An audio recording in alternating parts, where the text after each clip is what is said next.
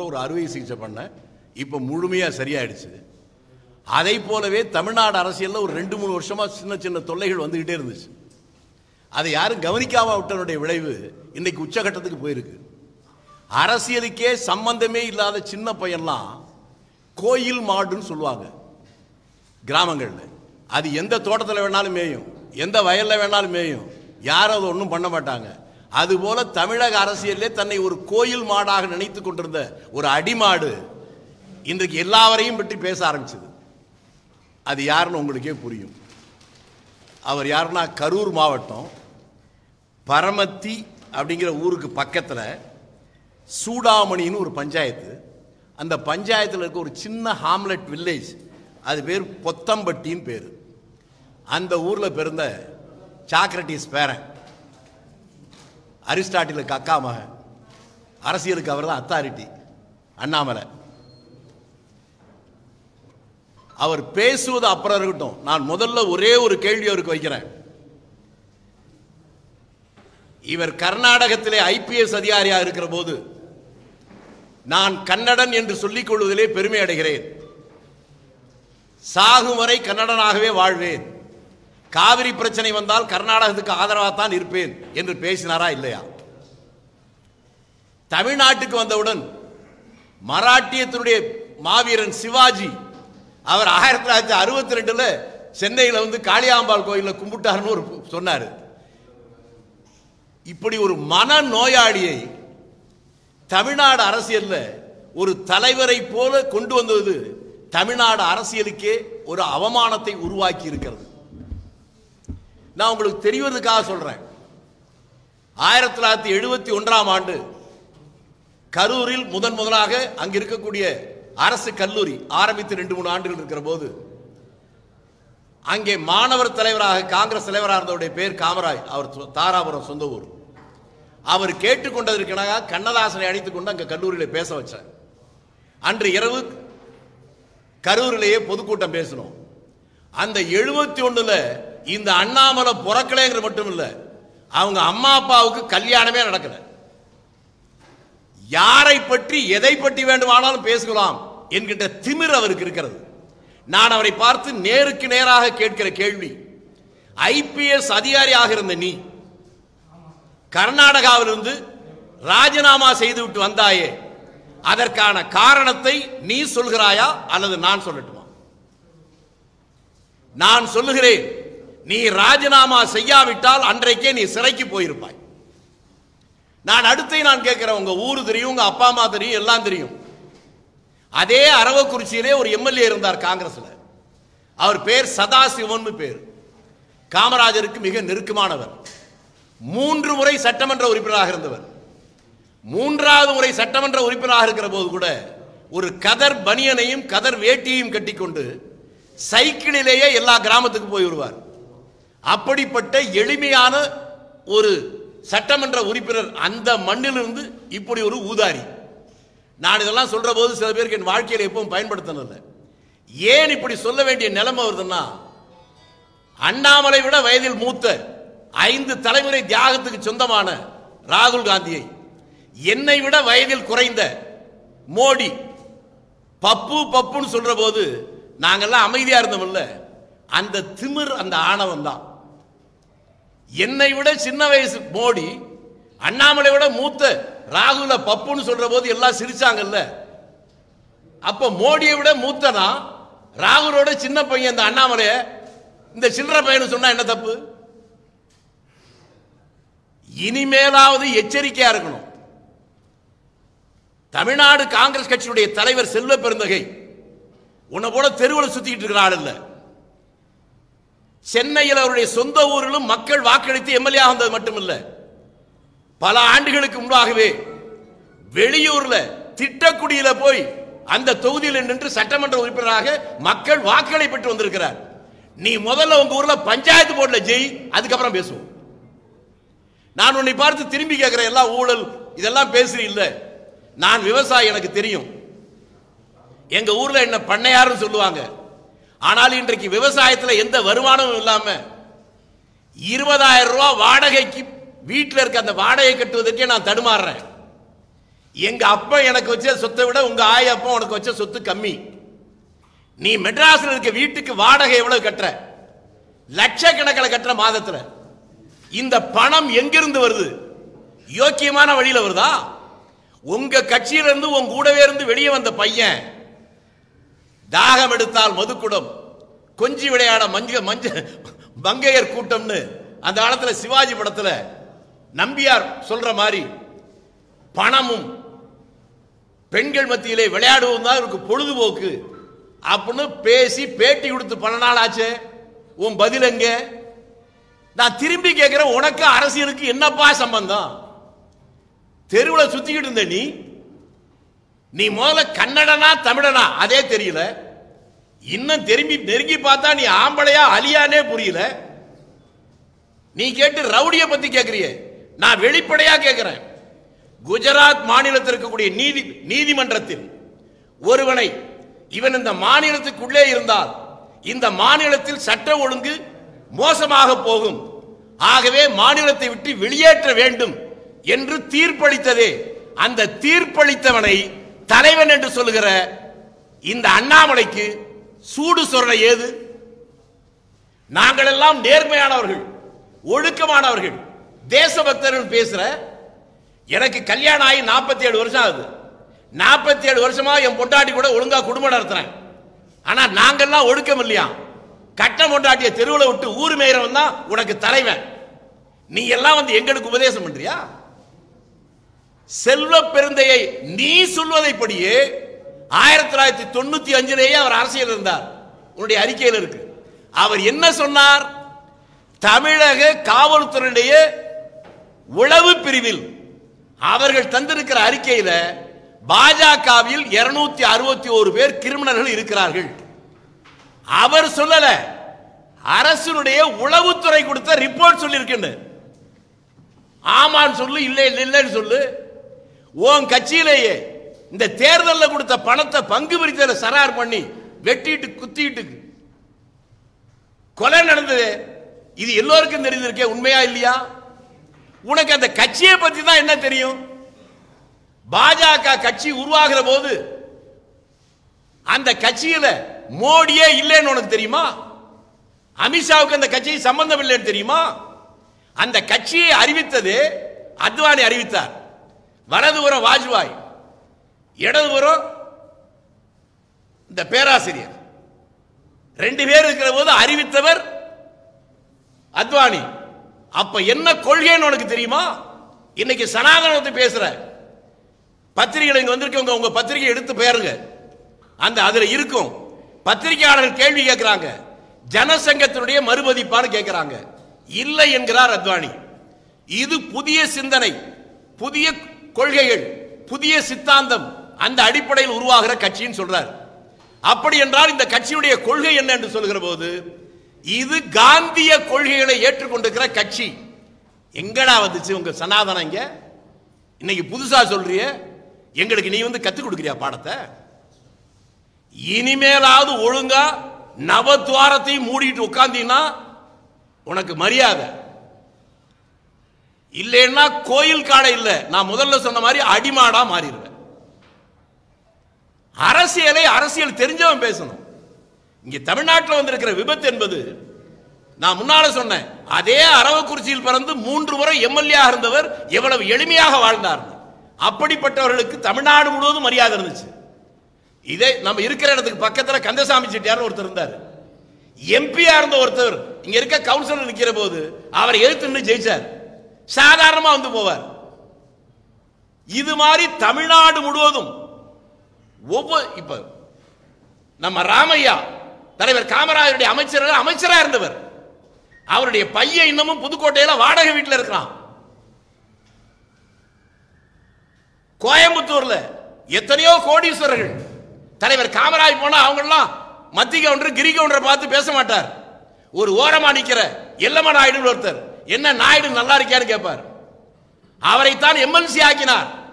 சாகிற போது சொந்த வீடு அவருக்கு இல்ல. கட்சி ஆபீஸ்லயே படுத்து செத்து போனார். கோமதி சங்கர தீட்சிதர் திருநெல்வேலி மாவட்டத்தில் புறம்போக்கில் இருந்தவர். அவரை எம்எல்ஏ ஆக்கியார்கள். ரெண்டு முறை எம்எல்ஏ இருந்தார். சாகிற வரை அவருக்கு சொந்த வீடு கிடையாது. இதாண்டா காங்கிரஸ். கட்ட க- கல்யாணம் பண்ணதே மறைச்சு உங்க தலைவன் கல்லூரியில படிச்சாரு சொல்லல அண்ணாமலை. எந்த கல்லூரியோட படிச்சாரு? அவர் கூட படிச்ச நாலு பேர் பேரை சொல்றான். நான் தூக்கல தொங்குறேன். உங்க வாழ்க்கையில உங்க கட்சியில எவனாவது உண்மை பேசுற ஒரு ஆள் உண்டா? எங்க அப்பா கொடுத்த சொத்தை நான் சொல்லிட்டேன். உங்க அப்பா அம்மா உனக்கு கொடுத்த சொத்தை சொல்லு. இந்த நிலைமை நீடிச்சா தமிழ்நாட்டில் ஒரு ஐபிஎஸ் ஆபீசர் உன்னை விட பெரிய பதவியில் இருந்தவர். அவர் பொண்டாட்டி இப்பதான் டைவர்ஸ் பண்ணிச்சா? இப்படியே போய் பேசினா ஓம் பொண்டாட்டி உன்னை டைவர்ஸ் பண்ற நாள் ரொம்ப தூரத்தில் இல்லை. அதை புரிஞ்சுக்கிட்டு இனிமேலாவது இந்த வேலையை விட்டணும். இவரை பார்த்து இந்த கேள்வி கேட்கிற அண்ணாமலைக்கு ஒரு பாமரன் கேட்டா பரவாயில்ல. நான் இதை தெரிவதற்கு இன்னொன்றையும் சொல்லி இருக்கிறேன் இவர் சொல்ற அந்த கொலை வழக்கு அதை விசாரணைக்கு நடக்கிற போது இந்த சென்னையுடைய சிட்டி போலீஸ் கமிஷனர் படிக்கிற போதே என்னுடைய நண்பர். அப்போதே செல்வ பெருந்தகை எனக்கு தெரிவதற்கு முன்பாகவே இந்த வழக்கு என்னன்னு தெரியும். இதுல எனக்கு இருக்கிற அனுபவம் என்ன தெரியுமா? எமர்ஜென்சி பீரியட்ல என் மேல மீது வழக்கு. கொலை சதி வழக்கு. ஐம்பத்தி மூன்று முறை கோர்ட்டுக்கு போயிட்டு வந்தேன். கடைசியில் போலீஸே அந்த வழக்கை வித்ட்ரா பண்ணுச்சு. அப்ப நான் என்ன கொலகாரன் அர்த்தமா? அதே போல செல்வ பிறந்தையன் மேல போட்ட வழக்க காவல்துறையே வித்ட்ரா பண்ணதுக்கு அப்புறம் நீ என்னடா ஐபிஎஸ் ஒழுங்கா படிச்சு பாஸ் பண்ணியா? இல்ல குறுக்கோடியில ஏதாவது பாஸ் பண்ணியா? வழக்கு போட்ட போலீஸே வித்ரா பண்ணிருச்சு. இப்ப அவர் மீது அந்த வழக்கு இத்தனாம் தேதி இந்த செக்ஷன்ல போட்டாங்க. ஏடா பைத்தியக்கார பேர கீழ்ப்பாக்கத்தில் அடைக்க வேண்டியவனை போய் ஒரு கட்சிக்கு தலைவரா போட்டிருக்காங்க. தமிழ்நாட்டில் இருக்கக்கூடிய ஒரு தேசிய கட்சியின் ஒரு பட்டியலினத்தை சேர்ந்த ஒருவர் படுகொலை செய்யப்படுகிறார். அங்கே நீ விசாரிக்க போனவன் வெளியே வந்த உடனேயே இன்னொரு பெரிய தேசிய கட்சியுடைய தலைவராக பட்டியலத்தை சேர்ந்த ஒருவரை பற்றி இவ்வளவு கேவலமா பாசினா உனக்கு இருக்கிற தான் என்கின்ற அகம்பாவம் ஆணவம். நீ பேசுகிற தலையிலிருந்து பிறந்தவன் தோல்ல இருந்து பிறந்தவன் இடுப்புல இருந்து பிறந்தவன் கால்ல இருந்து பிறந்தவன் என்று பேசுகிற அந்த திமிரது அந்த திமிரை அடக்கி கொண்டிருந்தால் உனக்கு நல்லது. இல்லை என்றால் விபரீதத்தில் முடிந்துவிடும் என்பதை சொல்லுகிறேன். உனக்கு தெம்பு இருந்தால் நேர்மையான வழியில் உன்னுடைய பிறப்பு இருக்குமானால் இதை பற்றி விசாரிக்கலாமா? ஒரே மேடையில் விவாதிக்க தயாரா? நீ சொல்ற இடத்துக்கு நான் வர்றேன். உங்க ஊருக்கே வரட்டுமா? இல்லனா உங்க கமலாலயம் இருக்குல்ல அங்கே வர்றியா? நான் தனியா வர்றேன். உன் ரதகஜ தொடர்பாதைகளா வச்சுக்கிறியா? மீண்டும் உன்னை பார்த்து கேட்கிறேன் உங்க கமலாலயத்துல ஒரு படம் இருக்கு. செண்பராமன் பிள்ளை படம். அந்த படம் எப்படி வந்துச்சு யாரால வந்துச்சு சொல்றா பாப்போம். நான் வாழ்க்கையில் இப்படி பேசுறது இல்ல. ராகுல் காந்தி என்கின்ற ஒரு பெரிய வரலாற்று சிறப்புமிக்க ஐந்து தலைமுறை தியாகம் பண்ணவன பார்த்தேன். சின்ன பையன் பொடியன்னு அதை விட பொடி பையன் இந்த சில்லற பையன்லாம் பேசுவதற்கு விட்டம் இல்ல. அதனுடைய விளைவு தான் இன்னைக்கு விஷயத்துக்கெல்லாம் போதுங்க எங்க கட்சியில அவர் காந்தியவாதின்னு சொல்லிட்டாராம் செல்ல பெருந்தகை. அதை கேலி பண்றியா? எங்க கட்சியில காந்தி மட்டும் இல்லடா நேதாஜி இருந்தார். அதை பார்க்கணும்னு நினைச்சீங்கன்னா அதுக்கு நாங்க தயார் தான் உன்ன மாதிரி புறம்போக்கெல்லாம் பார்த்து ஒதுக்கி போறவன் இல்லை காங்கிரஸ்காரன். வெள்ளைக்காரன் 200 ஆண்டு காலங்கள் இந்தியாவை ஆண்ட போது நீயும் உங்க ஆர்எஸ்எஸ் கட்சியும் பிரிட்டிஷ் ராணிக்கு ஆதரவாக வரவேற்பு கொடுத்த நேரத்தில் அவர்களை எதிர்த்து போராடி அடியும் உதயம் வாங்கி சுதந்திரத்துக்காக போராடிய எங்கிட்ட வந்து வேலையை காட்டியா இதை நிறுத்திக் கொள்வது நல்லது. நான் உனக்கு கேட்பது கர்நாடகம் உனக்கு முன்னாலே எனக்கு தெரியும். ஹெக்டே முதலமைச்சராக வந்த உடனேயே ஒரு வாரத்திலே அவர் பேசிய முதல் பொதுக்கூட்டம் நாகர்கோயிலில் நாங்க ஏற்பாடு பண்ண கூட்டம். அவர் முதல் மந்திரியா இருக்கிறபோது பாதி நாள் அங்கே தான் இருப்பேன். அதுக்கப்புறம் எஸ் எம் கிருஷ்ணா அவர் வந்த போதும் அப்பதான் இருப்பேன். கார்கே அவருடைய அமைச்சர்கள் அமைந்தராக இருந்தார். உங்கள் பத்திரிகையாளருக்கு சொல்வதற்காக சொல்லுகிறேன். நக்கீரன் பத்திரிகையுடைய நிருபர் சிவசுப்பிரமணியன் ஒருத்தர். அவர் கைது செய்யப்பட்டு இங்கே மிக மோசமாக பாதிக்கப்பட்ட நேரத்தில் நக்கீரனுடைய ஆசிரியர் வந்து என்னிட்ட தான் வந்து கேட்டார். செத்து போயிடுவான் போல் இருக்கு. குடும்பமே வந்து அழுகுது காப்பாத்துங்கன்னு அன்றைக்கு தலைவராக வந்திருந்த இளங்கோவிடம் அவரிடம் சொல்லி அவரும் நானும் ரெண்டு பேரும் போய்த்தான். எஸ் எம் கிருஷ்ணாவிடம் சொல்லி அப்பொழுது சாங்கிலியானா என்று இவனை போலவே ஒரு மோசமான ஐபிஎஸ் அதிகாரி அவனை தான் போட்டு அடிச்சது. அவன் வந்து கன்னட தமிழர்கள் விரோதத்தை உருவாக்குறவன். என்கிட்ட சொல்லிட்டீங்க. ஒரு நாலு நாள் டைம் கொடுங்க. நான் விடுதலை பண்றேன் என்று எஸ் எம் கிருஷ்ணா சொன்னார். அதே மாதிரியே விடுதலை பண்ணார். அதுக்கு பின்னால அண்ணாமலைக்கு புரிவதற்காக சொல்றேன். தேவகவுடாவும் நானும் கர்நாடகத்தில் எங்கெல்லாம் தமிழர்கள் இருக்கிறார்களோ அத்தனை ஊர்களிலும் அவரும் நானும் அப்போதே பேசியிருக்கோம். அவர் மக தேவகவுடா உச்சகட்டத்தில் இருக்கிற போது அவருக்கு டிரைவரா இருந்தவனுடைய பேர் ராஜா. அவன் திருநெல்வேலி மாவட்டத்தை சேர்ந்தவன். அப்பவே இருபத்தஞ்சு வருடங்களாக அவர்கிட்ட டிரைவர் தேவகவுடாவுடைய யாரெல்லாம் வேண்டிய அந்த மாநிலம் முழுக்க இருக்கானோ அவ்வளவு பேரையும் அவனுக்கு தெரியும். அப்பெல்லாம் குமாரசாமி அரசியலுக்கே வரல. அதுக்கப்புறம் குமாரசாமி அரசியலுக்கு வந்து நீ கர்நாடகத்துக்கு போய் பெரிய ஐபிஎஸ் புடுங்கி நீ. ஏண்டா டேய் நான் வெறும் ஆளு. எனக்கு என்ன பாதுகாப்பா இருக்கு? நான் தனியாக தான் இந்தியா பூரம் போறேன். நீ ஐபிஎஸ் தானே? உனக்கு எதுக்குடா பாதுகாப்பு? அரசாங்க பாதுகாப்பு? நீ ஆம்பளையா இருந்தா வேணான்னு சொல்லு. எனக்கு ஒரு கட்டத்தில் அரசாங்கம் பாதுகாப்பு தரேன்னு சொல்லுச்சு. வேண்டான்னு சொன்னேன். பிறப்புக்கு நான் காரணம் இல்லை இறப்பும் என் கையில் இல்லை என்பதை உணர்ந்தவன் நான். உன்ன மாதிரி பயந்தாங்கொள்ளி கோழைகள் பெட்டைகள் நீங்க தாண்டா பாதுகாப்போட போவீங்க. இன்னைக்கு பிஜேபியில் இருக்க எவனுக்கு போலீஸ் பந்தோபஸ்து இல்லாமல் வெளியே வர்றான்? நாங்கள்லாம் அப்படியா வர்றோம்? நாங்க பார்த்துட்டேன்டா. தொண்ணூறு வயசு மொராய் தேசாய் விமான விபத்து தொடர்ந்து போய் விழுகிற நேரத்தில் அவர் மான மேலேருந்து குதிச்சு தப்பு தப்பி வர்றார். முப்பத்தஞ்சு வயசு நாற்பது வயசு பைலட்லாம் செத்து போறான். அதை அதெல்லாம் பார்த்துட்டோம். நடந்து போய் கருத்தடிக்கு விழுந்து செத்தவனையும் பார்த்துட்டோம். அதனால பிறப்புக்கு நாம் காரணம் இல்லை இறப்பு நம் கையில் இல்லை என்று தெளிவா இருக்கிறோம். நீங்க தான் அஞ்சு அஞ்சு சாகிறவர்கள். அந்த அப்படி இருந்தாலும் இந்த அதிகாரம் ஆணவம் திமிர் அதை கடந்து ஒரு பட்டியலினத்தை சேர்ந்தவன் என்கின்ற ஒரே ஒரு காரணத்திற்காக நீங்கள் இதை செய்வீர்களே ஆனால் பட்டியலினத்திற்கு பின்னாலே நீங்கள் அவர்கள் மட்டுமல்ல காந்தியை நேசிக்கிற தலைவர் காமராஜரை நேசிக்கிற ஒவ்வொரு காங்கிரஸ்காரனும் அவர்களுக்கு அரணாக நிற்போம். முடிந்தால் வந்து பார். உனக்கு ஆண்மை இருந்தால் இந்த பிரச்சனை பற்றி ரவுடிசத்தை பற்றி விசாரிக்க எந்த மேடைக்கு வேண்டுமானாலும் நான் வர தயாராக இருக்கிறேன். அண்ணாமலையே நீ தயாரா இல்லையா? சொல். தயார் என்றால் நீ ஆம்பள ஒத்துக்கிறேன். இல்லைன்னா நான் முன்னால சொன்ன மாதிரி நவத்வாரத்தையும் மூடிக்கிட்டு ஓரமா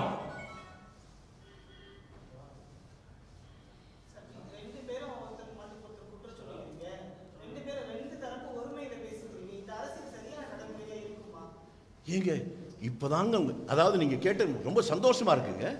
நாங்க பேசுறதே இவ்வளவு கோவப்படுறீங்களே. எங்க ஏங்க அதை தாங்க நான் சொல்லி நீங்கள் கேட்டுட்டீங்க பதில் சொல்ல விடுங்க. நான் முன்னால என்ன சொன்னேன்? இந்த நாட்டுடைய பிரதமர் நாற்காலியில் உட்கார்ந்துக்கிட்டு ராகுல் காந்தி பாட்டு பப்பு பப்புன்னு சொல்ற போது அது அசிங்கமா யாருக்கும் பண்ணலையா? பாராளுமன்றத்துக்குள்ளே அப்படி பேசுறது பண்ணலையா? சோனியா காந்தி இத்தாலிக்கு போயிட்டு வந்த உடனே கொரோனா காலத்துல இத்தாலிக்கு போயிட்டு வந்திருக்காரு. அவருக்கு கொரோனா டெஸ்ட் எடுக்கணும் அப்படின்னு சொல்லி சிரிச்சாங்களே. அப்ப கேவலமா தெரியலையா? அதெல்லாம் நாம் அனுபவித்தனுடைய விளைவு தான் இப்படிலாம் போயிட்டு இருக்கு. நாங்க இவ்வளவு நாள் பேசுற. ஏன் பேசுறோம்? முல்லை முள்ளால் தான் எடுக்க முடியும். வைரத்தை வைரத்தால் தான் அறுக்க முடியும். இந்த மாதிரி சில்லற பயல்களுக்கு இப்படி பேசினாதான் அவனுக்கு புரியும். அதனால தான் பேசுறோம். சட்டம் எங்களுக்கு தெரியும் சார். நான் அந்த முன்னால என்ன சொன்னேன்? என் மேல கொலை பழி வடக்கு இதே அரசு தான் போட்டுச்சு. ஐம்பத்தி மூணு தடவை கோர்ட்டுக்கு போயிட்டு வந்தேன். கடைசியில் அரசாங்கமே வித்ரா பண்ணுச்சு. இந்த வழக்கை இப்ப பேசுற பேச்சே செல்வ பெருந்தை வடக்கு வழக்கு. ரெண்டாயிரத்தி ஒண்ணுல அது என்னன்னு ஒண்ண மட்டும் சொல்லிடுறேனே. காவல்துறை மூலமா ஒருத்தரை விட்னஸ் போடுறாங்க. அவன் என்ன சொல்றான்? பூவை மூர்த்தியும் பக்கத்தில் ஒருத்தர் இருப்பாரு. அவர் செல்வம்னு பேரு. ரெண்டு பேரும் ஐம்பதாயிரம் ரூபா கொடுத்து என்ன கொலை பண்ண சொன்னாங்க. நான் பத்தாயிரம் ரூபா செலவு பண்ணிட்டேன். மிச்சம் நாற்பதாயிரம் ரூபா இங்கன்னு கேக்குது போலீஸ். நான் இந்த இடத்துல புதைச்சு வச்சிருக்கேன்னு சொல்றான். அதுக்கப்புறம் போய் தேடி பார்த்தா அதே மாதிரி நாற்பதாயிரம் ரூபா இருக்கு. அந்த நாற்பதாயிரம் ரூபாய் புது புது கரன்சி அதை எடுத்துட்டு வந்தோடனே இவங்களுக்கு சந்தேகம். என்னடா நாலஞ்சு வருஷத்துக்கு முன்னால இப்போ இவ்வளவு புதுசா இருக்கேன்ட்டு. அப்புறம் செல்வ பெருந்தகை தரப்புல தான் கோர்ட்ல சொல்றாங்க. இந்த பணம் நாசிக்ல தான் அச்சடிக்கிறாங்க. எந்த வருஷம் அச்சடிச்சாங்க என்னன்னு கேளுங்கன்ட்டு. அந்த வழக்கில் சாட்சி கொடுத்த அந்த பணம் தொண்ணூத்தி அஞ்சுல கொடுத்ததா சொல்லப்பட்ட பணம் பிரிண்ட் பண்ணதே நாசிக்ல ரெண்டாயிரத்துல.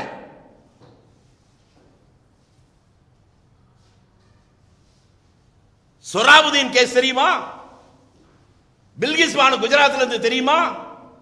கற்பழிச்சவனெல்லாம் கண்ணியவான் சொல்லி ரிலீஸ் பண்ண இந்த உத்தம புத்திரனுங்க சோறு திங்கிறவனா இருந்தா எப்ப அந்த பொண்ணு திரும்பி சுப்ரீம் கோர்ட்டு போய் மீண்டும் வழக்கு வந்து குஜராத் அரசு போட்ட அபிடவிட் என்ன?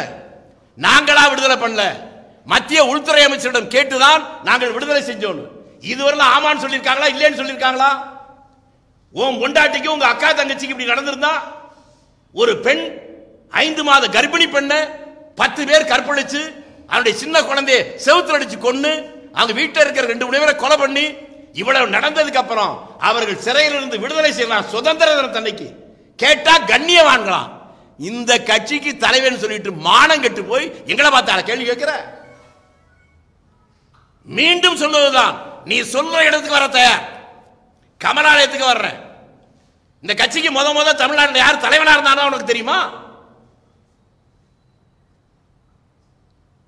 அன்றைக்கு இந்த கட்சியில சோத்துக்கு வழி இல்லாம திருக்கோயிலூர் சுந்தரன் ஒருத்தன் அஞ்சாறு மொழியில பேசிட்டு இருப்பான்.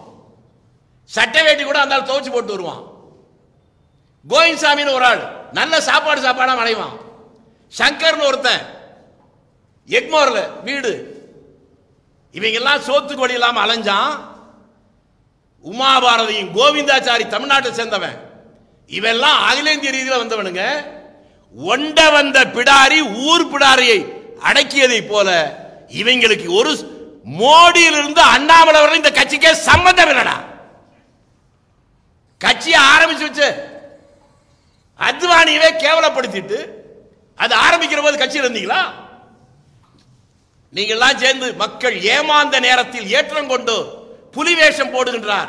புல்லல வேணும் மதிக்கின்றாரா? பாரதிதாசன் சொன்ன கவிதை வரி. அது இன்றைக்கு இவங்களுக்கு பொருந்தும். இனியும் இவர்களை விட்டு வைத்தால் அரசியல் கேலிக்குத்துடைய சிகரத்துக்கு போய்விடும் என்பதால் அவர்கள் மொழியிலேயே அதை சந்திக்க நாங்கள் தயாராகிவிட்டோம். நீங்களே அவருடன் கேட்டு இடத்தையும் நேரத்தையும் தேதியையும் சொன்னால் அவர்கள் சொல்லுகிற இடத்துக்கு தன்னந்தனியாக இந்த வேலுசாமி என்கின்றவன் வர தயார். அவர்கள் தயாரா? அதுதான் உங்களுக்கு முன்னால சொல்லுங்க ஊடகம் கார்ப்பரேட் அரசியல்வாதிகளின் கைப்பாவையாக அடிமைகளாக இருந்தது போதும்.